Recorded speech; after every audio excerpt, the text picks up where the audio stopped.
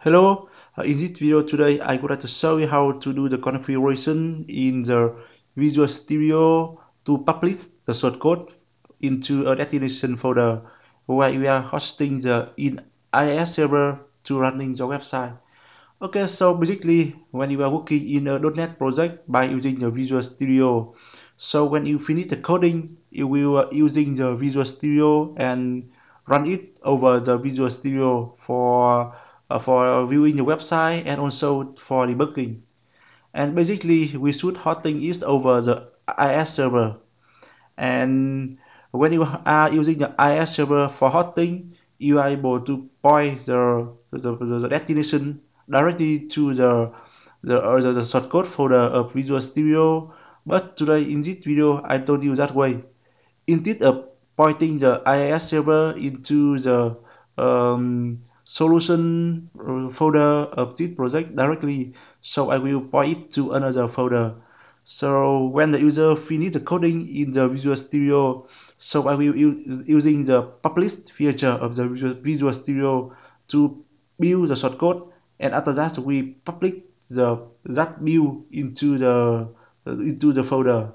So it did a for example when you deliver the shortcode to the client so instead of deliver the, the shortcode solution to them, you, you don't need to deliver the published folder for client. Uh, the published folder it will it will be contain something like the DLL file and some image, some style sheet, and uh, another thing. It is necessary for running your website. Okay, so let's follow my video today to do it Firstly, I will open the Visual Studio. So in order, in order to publish the, the, the shortcode into the destination folder, we have to running the Visual Studio in the administration. Okay, you click on the Visual Studio here and select the Run as Administrator.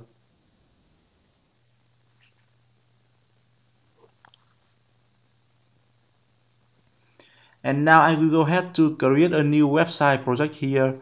I select the file new project. And I will select the web and ASP.NET web application. And I will select another folder here which contains the shortcode. I have a test folder here. Okay so I will name the solution for this one is the testing publish feature. Okay. Enter. And I will select a template here that is uh, the MVC by default. And I will click OK button to create the project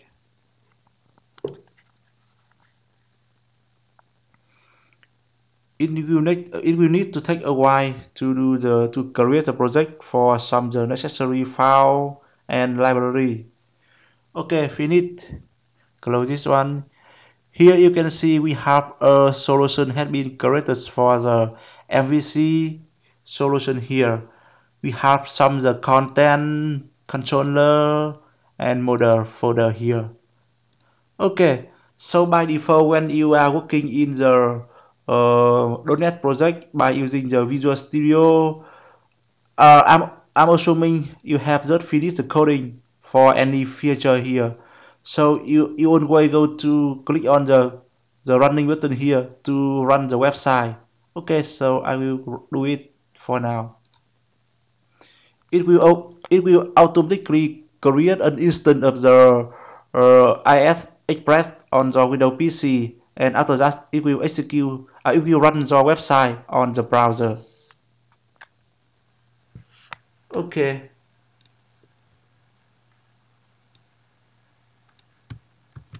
I will open another tab. Okay. So here you can see this one is the default uh, default template of the MVC we have the on the top we have the home about menu contact menu here which contains some the uh, static information on this on, on, on three page here. Okay we have some hyperlink on the home page when you hover on this here. It will direct to the ASP.NET website or the go.microsoft.com website too. Okay cool it is running so now instead of running it here. We should have some the uh, configuration to run it over the IIS server. Okay so let's open the let's open the internet information services manager here. Okay so you, you can open it by uh, window R in inet M, and click on OK button here. Cool. Expand this one. And now I will go ahead to create a new site here. I will call it either uh, okay let me think a visual publish publish okay visual publish dot local okay so now here I will open the folder I have. Okay I delete this one. And I create a new folder. I will call it either .net repo. Okay cool. Copy this path and now I will paste it into the physical path here. And the hot name I will copy the same sign name here. Okay cool. And click on ok button. And after that if you try to run it on the, the browser here so it will display the error message. Okay let's see it first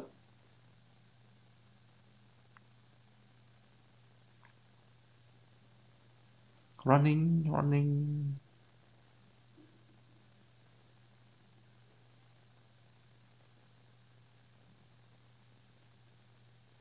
It not work for now. The site cannot be reached okay. It will take too long time to get the response from the server. So meaning here we are still not able to use the vs uh, vs publish.local uh, domain on the local pc so here so now you have to open the hot file. Okay so I will open this one. You go to the window system. Window system 32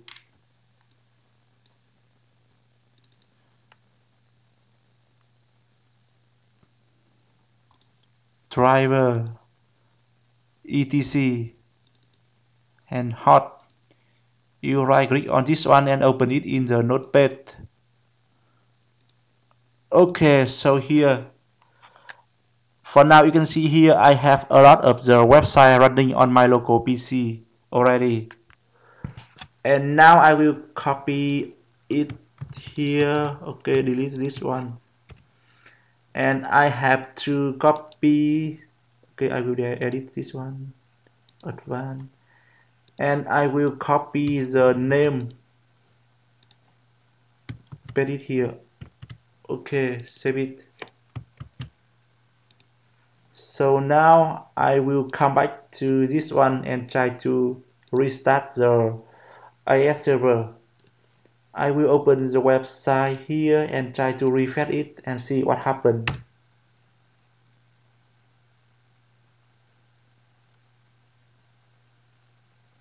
okay so you can see here for now the domain vs publish.local has been uh, running successfully.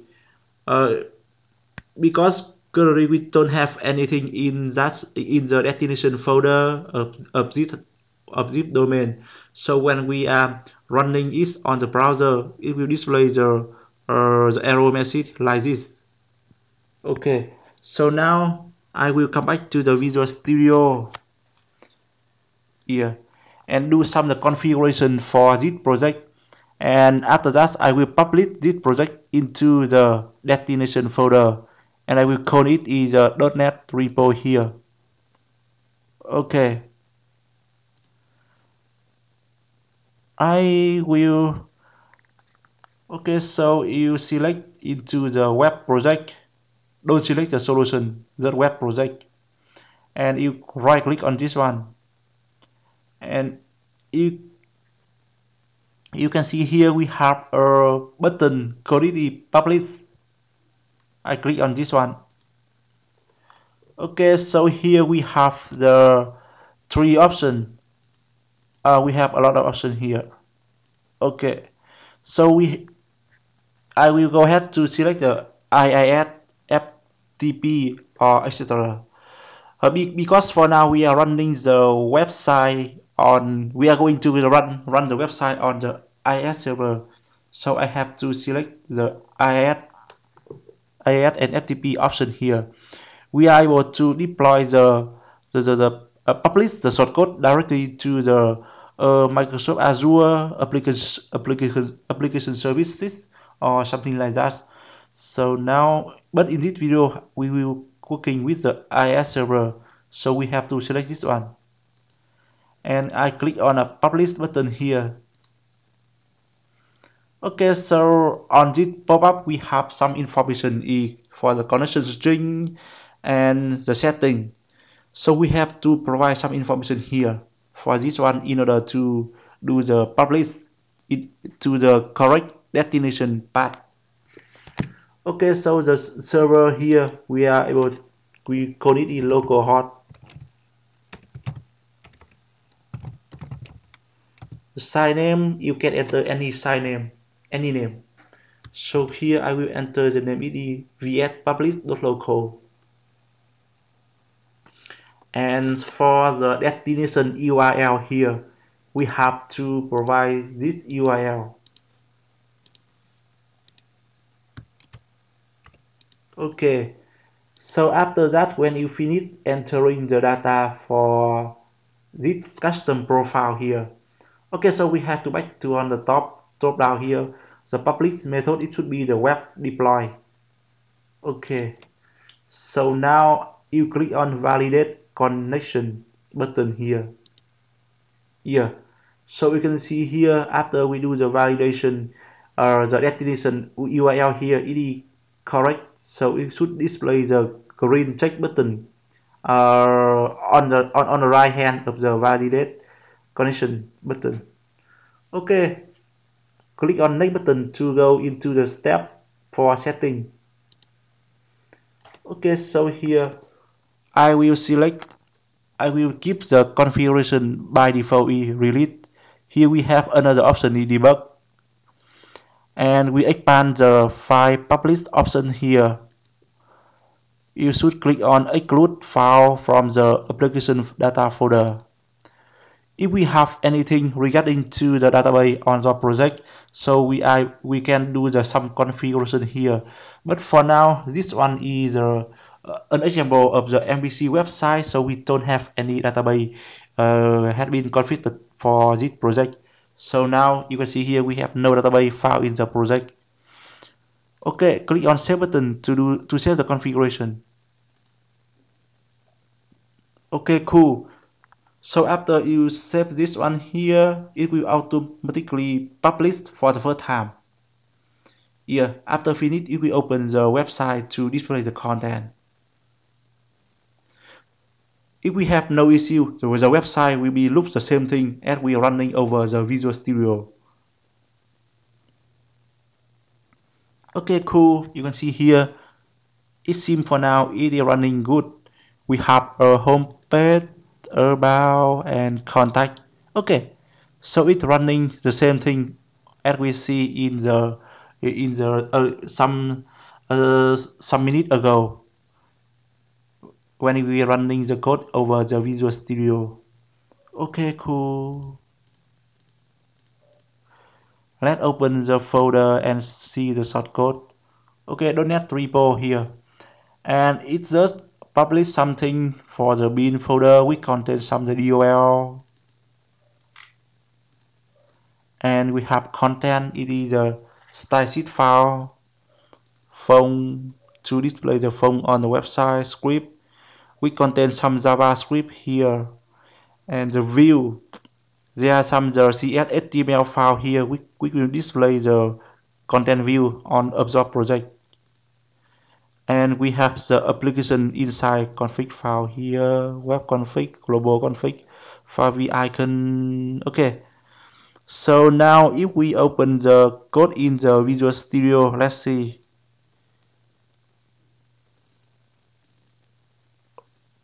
Okay let's see and compare it. Okay you can see here we have a lot of things in the in the solution. So now instead of deliver the whole code here we have a lot of things and it it should be heavy. So now we just need to deliver the published shortcode here. So it will be smaller than the solution and will quick it will easy uh, easier and quickly quicker for deliver to the client for that thing. Okay cool and now I will open this one and I try to do the modification for the view. I will open the home page index. It should be index. Okay I will enter something here. I have uh, the application name. ASP.NET Hienwu I will save this one. Okay so after you edit the view here if you refresh this one. Of course you didn't see any change here. You have to publish it again. Publish. Custom profile and publish.